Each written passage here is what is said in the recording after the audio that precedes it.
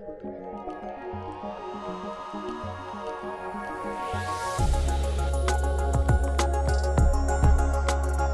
I'm seeing a patient in clinic, I sometimes don't remember all of the things uh, that I need to do. And, and so the, the most basic explanation of what decision support is, is it's an alert that actually reminds me as a doctor what it is I'm supposed to be doing to take better care of my patient, whether that's ordering a test or providing a treatment. We, in fact, unfortunately like this so much that we sometimes create such a large volume of alerts and suggestions that uh, nurses and doctors can feel frustrated.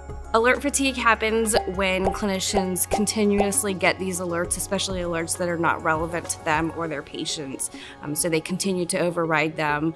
But often oftentimes that advice is important for patient safety. In my project of using explainable uh, AI to optimize clinical decision support, I'm trying to identify ways to improve alert logic and also identify potential improvements in workflows.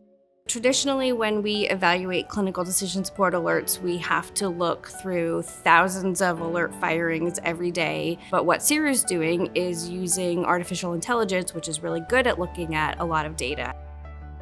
I really think NLM's funding and support was key to this research. There's so much that we need to do in order to fill the important gaps in our research knowledge and be able to advance the field. This is a grant program um, from the National Library of Medicine and other agencies that allows faculty members to start off working on their research projects under um, some mentorship for a few years and then transition into an independent award to do the research that they want to do.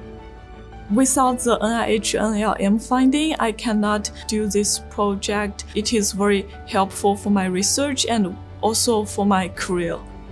Siru has brought some really cutting edge machine learning techniques to uh, find uh, opportunities to improve our decision support. And we've already made uh, tremendous uh, strides in improving uh, the acceptability, reducing alert fatigue, and making alerts uh, more usable for our users. I think this research is going to help us really maximize and optimize the ways in which uh, we really can unlock the potential of AI for improving health and healthcare.